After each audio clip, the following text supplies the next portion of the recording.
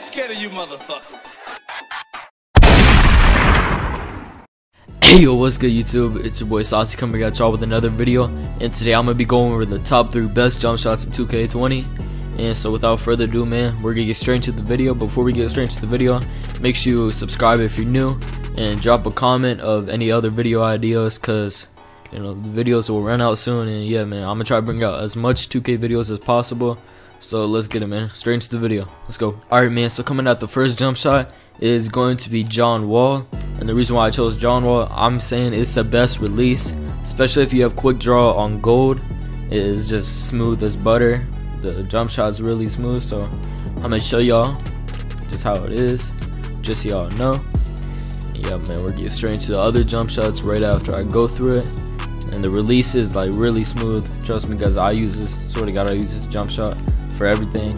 And yeah, man, it's just smooth. You see like that, smooth I want to toss the three. It's really good for uh, fadeaways and mid ranges and stuff.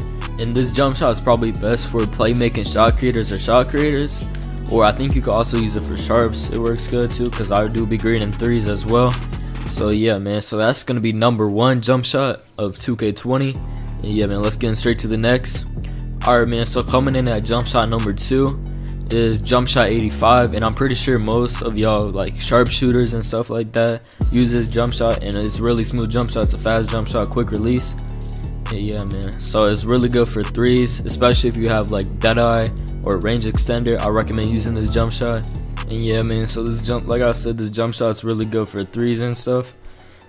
And as you'll see right off the bat i'm greening. I barely use this jump shot because i always use john wall because that's always been the jump shot I've been using since it started 2K. And yeah, man, so y'all see it's a fast release, even if you don't have quick draw, even though my quick draw is on gold, which I recommend you guys working towards your badge to get on gold. And yeah, man, so you see I'm greening, straight greening. And yeah, man, so without further ado, we're getting straight into jump shot number three. Let's get it. Alright, man, so coming in at number three, the next best jump shot is Paul George. And as y'all see, this is a very quick release. So let's compare it to like Kevin Durant, for example. It looks a little slow. Paul George goes a little faster. Let's check out what was it called? What where's uh, James Harden? James Harden. You see how slow it is compared to this. So this jump shot, if you don't have quick draw, like I said, at least try to get it a bronze at least, just so the jump shot's a little faster and smoother. And yeah, man. So let's check it out. Show y'all how the release is. Man, and I recommend using this build to like slashers or inside builds such as centers and all that. And yeah man, so y'all see the jump shot. You know, it's not green every time, that's why I put it at top 3. But if you really want to be getting those greens, I recommend using Paul George or Release 85. But you could get greens with any jump shot, you just have to time it right and yeah man. I say this jump shot's a little faster than the other ones, I think it's about like the same. So you have to time it right. That's the problem with it. So that's why I put it at number three. One of y'all recommended it to me. And yeah, man. So and also it's really good for shot creators as well. On, let me show y'all. See, I'm not really missing that much. Yeah, man. So that's gonna be jump shot number three.